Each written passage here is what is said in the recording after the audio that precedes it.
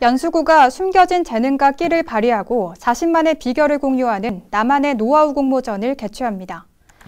주제는 분야 상관없이 노래와 운동 등 자신이 가지고 있는 기술과 비법을 영상으로 제작해 주민들과 공유할 수 있는 내용이면 됩니다.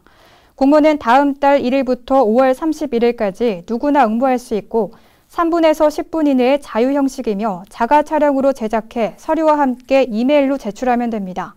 구는 모두 18편을 6월 15일 연수구청 홈페이지를 통해 발표하며 수상작은 제5차 유네스코 학습도시 국제회의 등에 활용될 예정입니다.